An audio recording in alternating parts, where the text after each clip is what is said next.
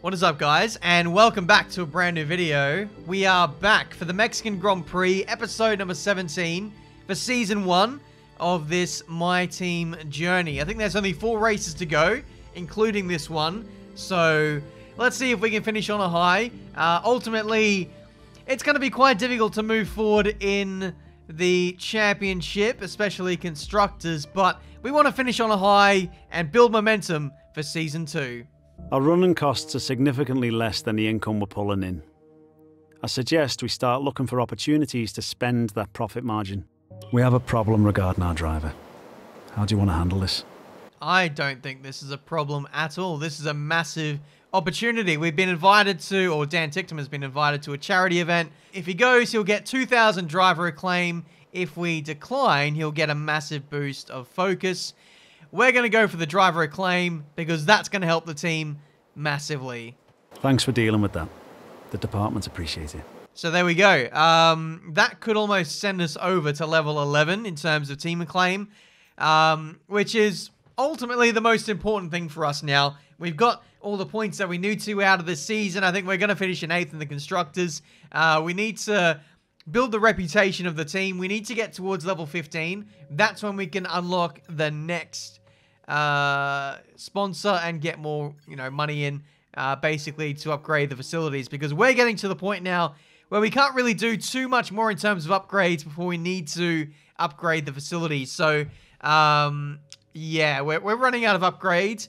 However, uh, we're getting towards the end of the season, and when we get that end of season bonus, that is going to unlock so many things for us. So, yeah, just gotta, I really gotta plan out what I'm gonna do uh, for a whole multitude of things. But I think at this stage, I'm gonna stop investing in facilities for the rest of the season now. And um, I'm gonna have to save up for the second driver fund because, yeah, it's annoying, but you can't, you can't buy your second driver after the season ends and you get your budget. You have to factor that into this year's budget, which makes no sense. Anyway, we did a front downforce upgrade.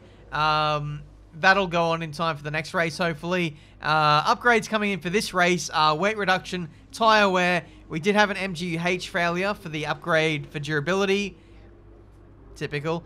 Uh, but that's fine because uh, that was only a bonus upgrade I chucked a, a, couple hundred resource points at. So that's absolutely fine. Um, so front downforce, drag reduction are in the works. And uh, we creep ever closer to the likes of AlphaTauri. We did actually overtake Alfa Romeo in the break uh, between last race and this, but we've now discovered that Alfa Romeo brought upgrades of their own and they stay ahead of us uh, in the performance index for the time being. So we're getting more competitive. Um, we're getting towards that uh, lower midfield marker. We're no longer are we still back markers? Yeah, we're kind of still back markers, but we're, we're getting closer. We're being more competitive. And uh, next season, you know, we want to be solidly in the midfield. Um, hopefully, maybe slightly better. Who knows? Um, this is the most realistic progression I think we've had so far in an F1 career mode. Um, I think in previous games, we would have already been top of the midfield or something ridiculous like that. But it's nice to see how how realistic it's been. And uh, I'm sure that you guys actually really appreciated that on my career mode as opposed to other people's who seem to be progressing maybe too fast. I'm not sure how they're doing that. Anyway, um, resource points come in. Uh, we basically maxed out everything from Friday practice, so uh, we get all the discount upgrades for the future. And uh, yeah, life's looking good. Uh, pace is all right but uh, Dan Ticktum is really getting the most out of the car so far. Let's move on to quali.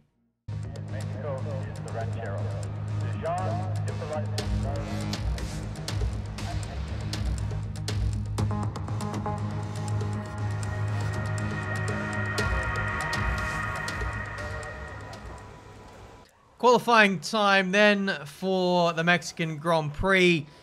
I think a dream result would be if we could get both cars into the next session. Uh, in Marduk Motorsports history, we can only get one driver out of Q1. Last time out, it was Dan Ticktum. Uh, but for the last few races prior to that, it's been me. So if we could get both cars into Q2, that would be incredible. Currently P7 and P9 at the time being. But, you know, 90% of the grid hasn't set a time yet. Ignore that. Um, we're, we're currently uh, two tenths up on our previous best. This is uh, my second lap on the same set of tyres. Seeing if, seeing if I can better the time. Looks like I'm losing better time through Sector 3. Um, very easy to lose time at low speed corners. If you don't get the rotation right or you get a little bit of understeer or lock up, so many different factors can go wrong at low speed. Um, the time just evaporates very quickly. So, yeah, Dan currently in safety at this stage, P16, and a solid five tenths ahead of me at this stage. So, I need to up the ante here because if I don't, I'm looking at potentially maybe a P20 because Tsunoda is behind me, and we know that he's going to improve in that AlphaTauri, or you'd think he's going to improve in the AlphaTauri. Uh, we'll have to wait and see. A 10th up on our final lap here in Q1. It doesn't look like it's going to be good enough. We do, we did lose a lot of time in Sector 3 last time, so hopefully we can make it up this time around. Still a little bit understeery in this car. We definitely need to improve the balance of this thing and also get a little bit more front downforce on it. Three tenths up as we approach the final uh, straight, and that is not good enough to beat our teammate. Not good enough to get out of Q1. We already know that. It's P21. P21 for the Mexican Grand Prix. We haven't qualified this badly in a long time. But the silver lining is the gap to pole position is only 1.8 seconds. So the field as a whole is a lot closer at this round of the championship. We're just on the wrong end of that, unfortunately. So everyone is improving in uh, very subtle areas, but it seems to be making a big difference on the circuit. So, yeah, although we're in P21, we are more competitive in the race usually. So, um, I've got high hopes for the Grand Prix. We know we'll move forward. Yeah, tough to take that one. Tough luck there. It's not quite where we'd want to be on the grid, but chin up, it's not the end of the world. Here we go then. It's time to race in Mexico City, a place which gave Honda their first ever victory back in 1965. American Richie Ginther won from third on the grid. And what are the Honda powered cars this year? Well, Red Bull have been going strong here in recent seasons, so can they keep that record going today? At 2,285 metres above sea level, the thin air of the Autodromo Hermanos Rodriguez poses a unique challenge not just to a driver's skill, but to the efficiency of their engines as well. 17 corners make up a lap of this 2.6 mile circuit, and you can expect incredible speeds in excess of 220 miles per hour, and overtaking two into the hard braking zones of turns 1 and turn 4. Uh, hi guys. Just filling in here for Crofty and the other guy because it seems like they've gone on break halfway through this uh, race announcement. That's fine. I'll do all the commentating anyway. Um, what are we looking at? That's me. Hello. My, my helmet mod isn't working for some reason. Pierre Gasly chilling as he's ready to get on the grid. Codemasters. There are glitches popping up left, right, and center. I think that's going to do it for Ben's mid-race announcement. Back to the other guys. Let's run you through the driver grid order for today's exciting race. Lewis Hamilton lines up on pole position, and it's Valtteri Bottas that completes the front row. Looking at the rest of today's grid, we have Perez, Leclerc, Lando Norris, and Ricciardo, Gasly, Vettel, Fernando Alonso, and Lance Stroll. Verstappen, they've taken a grid penalty. Raikkonen, Antonio Giovinazzi, and Ticktum. Sainz. They'll be starting further back after an earlier grid penalty. Russell, Nikita Mazepin, and Benjamin. Ocon, Tsunoda, Mick Schumacher. They've taken a grid penalty. And Nicholas Latifi. It's almost time for those five red lights to go out. Then let's see who can prevail today. Okay, here we go. I know what you can do. Don't let me down. Okay, so P18 on the grid for today's race. Uh, grid penalties, again, wreaking havoc on the grid, which is exactly what we want to see. I think our teammate is starting P14. Uh, so, yeah, looking like a positive start for Marduk Motorsport. Um, you know, it's it's one thing me starting up the grid, but if my teammate is up there too, then that's his uh, ultimately the golden situation because he's so much closer to points. Kimi Raikkonen on the fringes there in P11. So uh, yeah, again, much like last Grand Prix, I think there could be some big points on offer. Um, we're going to go for the alternative strategy. Start on the mediums, uh, finish on the soft. Based on previous year's games, the soft is ridiculously OP around here, so I want to finish the race strongly on that and try and cling on to as many cars as I can on the slower tyre. So here we go, five red lights, and we are underway for the Mexican Grand Prix. Not a great start. I wasn't expecting one anyway on the harder compound of tyre. Ocon and Tsunoda get past us. Uh, Schumacher looking at having to go at me down into turn one as well. Um, the AI, yeah, they're a little bit slow on the first lap, as you would expect. Uh, the last few races, we've had some incidents on lap one, which has seen a lot of uh, front wing damage. Let's hope for our sake the same is the case today as we get around the outside of Nikita Mazepin there on the run into the middle sector. Now we might be able to get Ocon, Russell, Tsunoda, Raikkonen. Maybe not Raikkonen, that would have been a bit of a, a tall order, but someone is going slowly up the order once again. There are incidents on the first lap. Simulation damage really catching out the AI in the midfield. And uh, yeah, we're going to be the ones to capitalize on that. It's just uh, case of waiting now and seeing who it is that's going slowly. Slowly, it looks like Lando has got a lot of understeer, as has Valtteri Bottas just up the road. They're both understeering off the circuit. Here comes the Ferrari and the Mercedes. Round the outside goes Lewis Hamilton. Up the inside goes Charles Leclerc. And there is the confirmed damage for Lando. Unfortunately, no replay of what instigated all that. But uh, I'll do the replay stuff for next episode. You'll have to remind me. But uh, there we go. Leclerc gets past Lando. And uh, yeah, it looks like it is going to be a big fat F for Valtteri Bottas once again. Sergio Perez, by the way, is leading the Mexican Grand Prix by over five seconds on the first lap. So it's uh, pretty ridiculous. The, the hometown hero is on target to get some big points and glory at his home Grand Prix. I hope for his sake he can actually get it. Three wide for myself and my teammate in separate battles. Uh, getting the measure on Ticktum, and uh, it's Giovinazzi who's the big loser out of that three-wide battle. We get past Tsunoda and uh, whoever the hell we were battling early, maybe Raikkonen, and we're into P11. So, been a great start so far. A few people boxing early for uh, new tyres, new wings. Bit of a moment there for us as Ticktum is now overtaking Carlos Sainz for P9. Go Ticktum, he's absolutely flying in this race. They're still side by side now, trying to sort out this squabble. I think the Ferrari might get the position here. He'll have the inside for the final left-hander. And uh, yeah, Ticktum didn't get a great run. I'm going to sit in behind. Here comes uh, Giovinazzi around the outside of both of us. Massive lock up into the stadium section. Uh, Ticktum blocks him off. And thankfully, he still remains in the points. So for this first stint, guys, my my role here is going to be a bit of a, a rear gunner for Dan Ticktum. He's on the OP soft compound tires, so there's no point me overtaking him because he'd only re-overtake me anyway.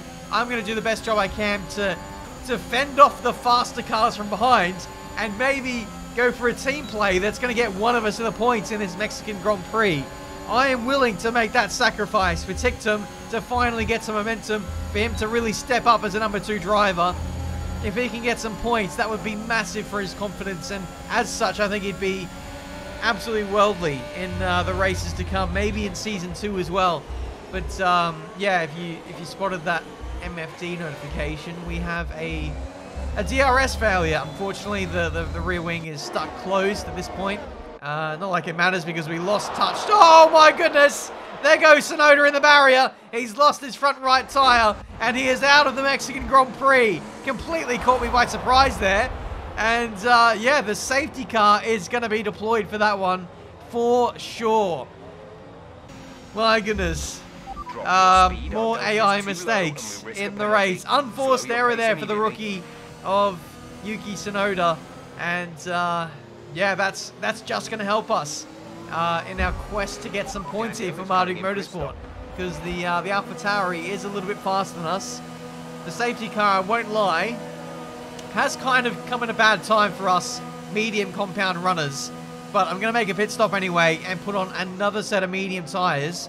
This will only make the one stop that much easier to pull off uh, for the rest of this race. So onto another set of mediums. Go, go, go. We're going to save the softs for later on. There might even be another safety car later, so um, hopefully this is the right decision. I, I don't know for sure if I've made the right choice here, but I hope that in strategy land, this all works out for us quite well towards the end of the Grand Prix. Sergio Perez absolutely raging, by the way. He lost that five-second lead he had, and uh, now he's got to contest with some fast boys behind him as we get ready to go back under green flag running. The tyres are going to be pretty cold on this restart, but uh, essentially what we're waiting for is for the softs to die off for those ahead of us. A lot of people who did pit boxed again for another set of softs, so we'll see them in very swiftly for another pit stop. We only have to make one more pit stop to get to the end of the Grand Prix, uh, whereas some others might be doing a two-stopper from here. So essentially a three-stop. Anyway, we're back underway for green flag running. You can see Sebastian Vettel really having a go, a go at us down into turn one. He does get the move done though, but we have the inside for the next left-hander. Seb yields, and we hold P19 for the time being, losing a lot of touch with George Russell. But in time, our tyres will phase in nicely and we'll catch up again. Speaking of catching up, it looks like my teammate is on the move once again. Gets up the inside of Nikita Mazepin into the stadium section and displaces him down to P16. Though it might be P17 as Ocon is looking to get in the mix as well. Russell caught up on the back of Ocon. We go around his outside and we have the inside for the next right-hander. We get the position. 18th place us. It was only like five seconds ago I was speaking about hopefully catching up to, to Russell in the long-term future. But uh, next lap, it has happened and Mazepin gets caught up on Ocon. Free position for us, 17th for us now. And we're looking to catch up to Ocon, but Vettel has other plans. He's now cutting his way through the grid on the soft compound tyres. There's not much we can do to fight against him. We let him go, and uh, he displaces us back down to 18th place. There's a tasty old battle emerging up the road, and here's the replay of said battle. This is Mick Schumacher and Lando Norris making contact. Lando has lost his front wing for the second time in this race, and now look at the big ass train we've got going here. You can see Vettel, uh, Ocon, Ticktum, Schumacher, all involved in this. It's literally four wide into here, into the corner. It's still four wide. We go around the outside of Vettel.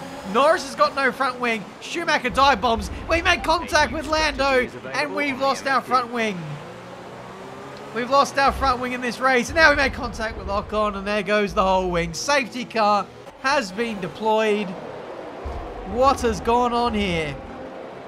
What has gone? I think I just caught, got caught out by Lando's slow apex speed and we ran into him. My teammates got damage. Lando's got damage. Ocon might have damage. He did run over that wing. But uh, yeah, right at the apex, had nowhere to go. There was that second bit of contact with Ocon. That was a bit unnecessary. And we've been given a five second uh, stop go penalty for contact with Ocon. Technically under safety car. So, um, yep. This race has definitely gone down the toilet. Not, not the kind of, uh, not the kind of afternoon we wanted here at Marduk Motorsport. Uh, in the end, making that early stop under the first safety car was not the right decision. Ticktum has a five second stop go and a front wing change. So this is a very, very painful pit stop for us here. Here's the stop go. Oh, now here's the stop go. Jeez. Now comes the front wing change and the tyres.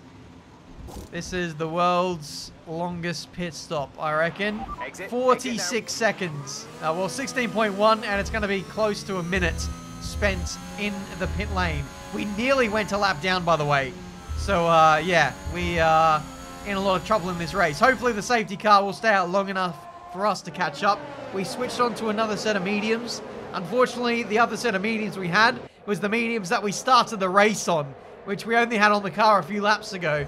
So we're going to come into the pit lane at the end of this lap, and we're going to change on the soft compound tyres because I didn't realise. Oh, the safety car's coming in anyway. So, uh, yeah, we're stuck on the old tyres. maybe this will be okay. We're, we're essentially in the same position we were five or six laps ago. Um, but yeah, everyone else has newer tyres essentially, and we have no track position. So away we go for green flag running. Tyres are still pretty warm, uh, despite all that, but uh, we just lost touch with uh, those immediately in front of us. Everyone is running softs in this race. No one wants to use the mediums, essentially. Uh, that will be coming later. So once we bolt on the softs and everyone has mediums, we're going to be well and truly in the money here. Here's Schumacher going side by side with Dan Ticktum. Valtteri Bottas is running outside the points with the back markers. He is having a torrid race. Round the outside of Mazepin we go. Raikkonen stopped on uh, the start of this lap. Uh, Ticktum mounting the curve, trying to get ahead of Norris, losing the back end. Goes back up the inside of Schumacher. This is just a mental race. Contact with Mazepin. He might have front wing damage because of that. And uh, yeah, here we go. Take two into the stadium section. It's two or three wide down here. We get up the inside of Schumacher. Nearly make contact with our teammate as we do uh, kind of graze along the side of Schumacher. He was not wanting to let that one go. And uh, Haas are now demoted to the back, essentially. Uh, Fernando Alonso is in. He's got to change the front wing. So more contact, more crashes continue in this race.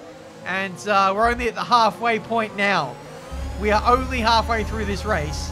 And we have seen, what, nearly half the field come in for an unscheduled pit stop for a front wing change. There's uh, Ticktum going around the outside of Gasly.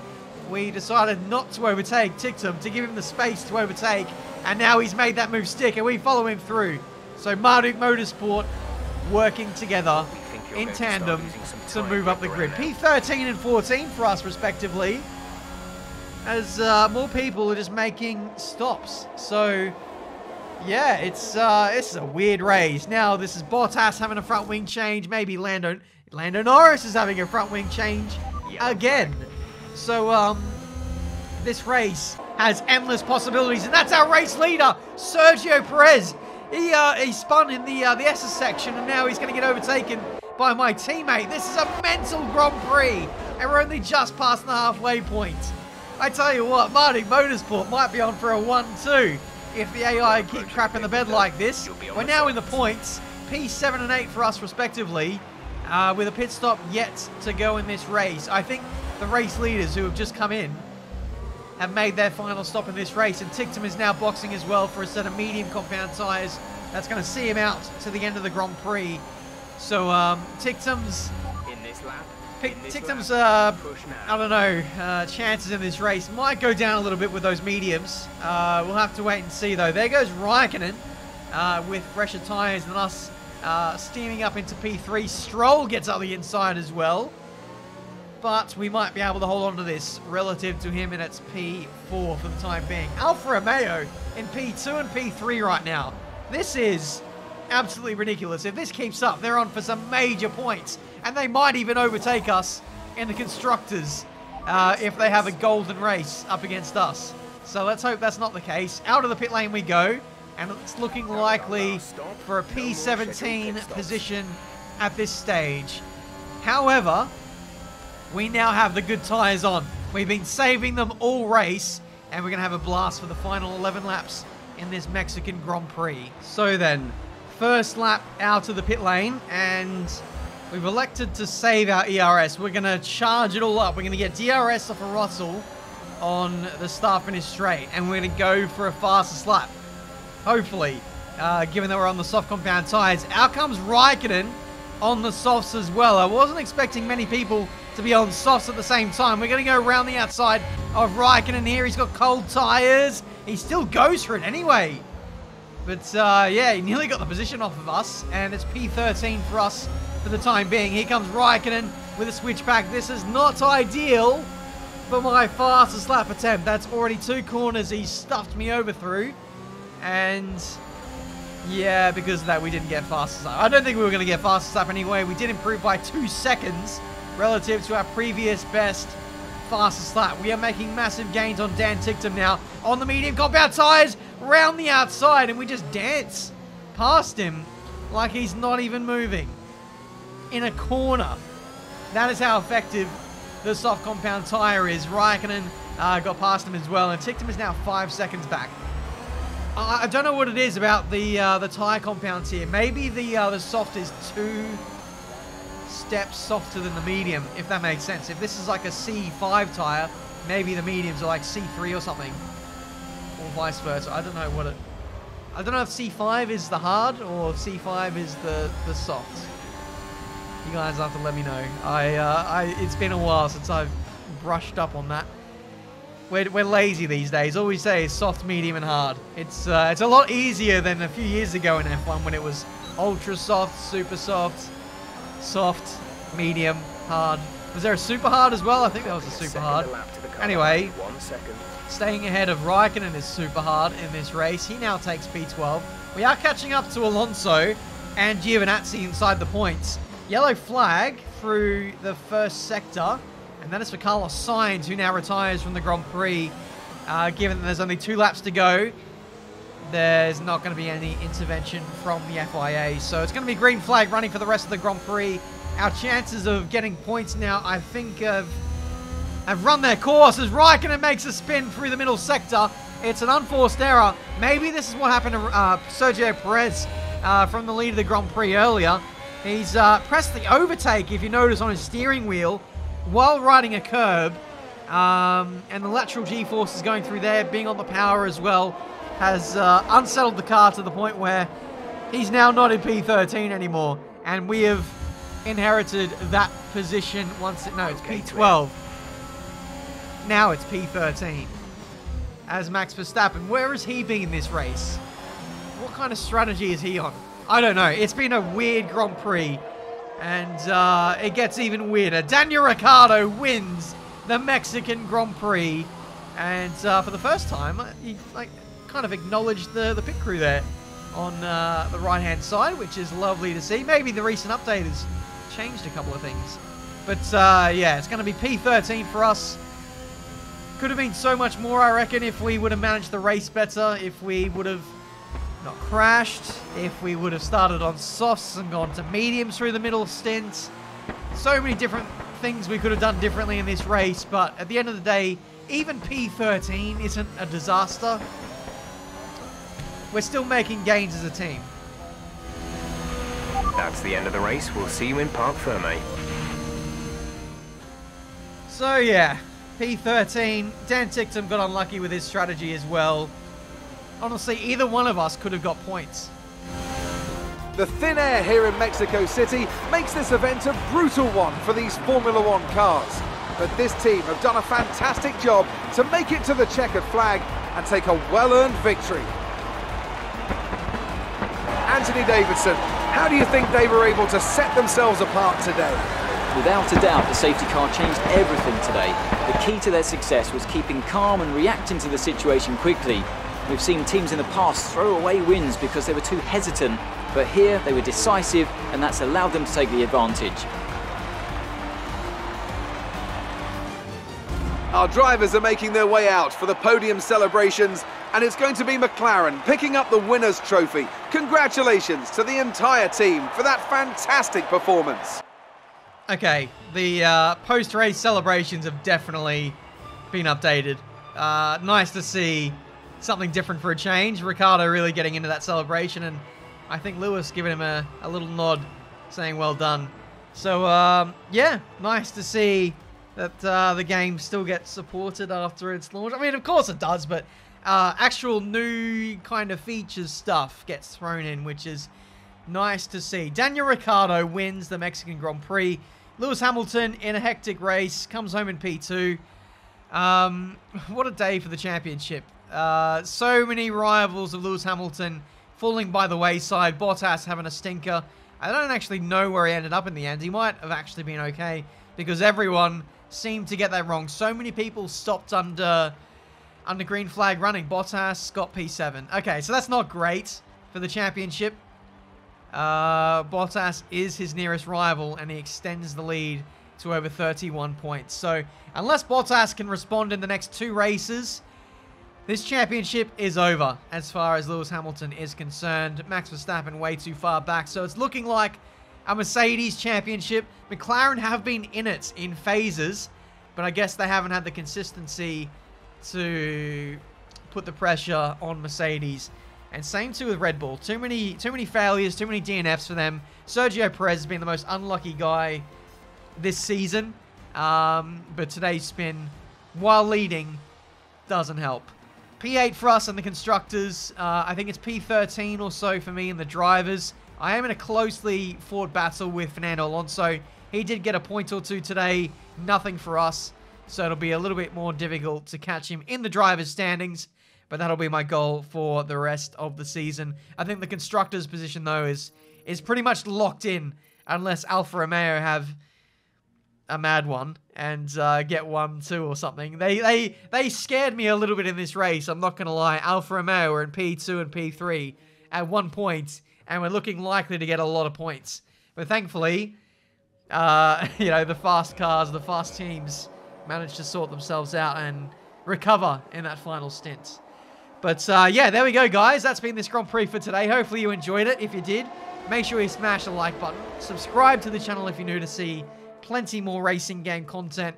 Absolutely mental race. The I'd probably say the craziest of the season. It was a complete roller coaster of emotions uh, and literal roller coaster of positions that we were in in this race. Unfortunately, no points today, but I have a feeling with the upwards trajectory that Marduk Motorsport is on, that regular points finishes are soon going to be on the horizon. With that said, thank you guys so much for watching.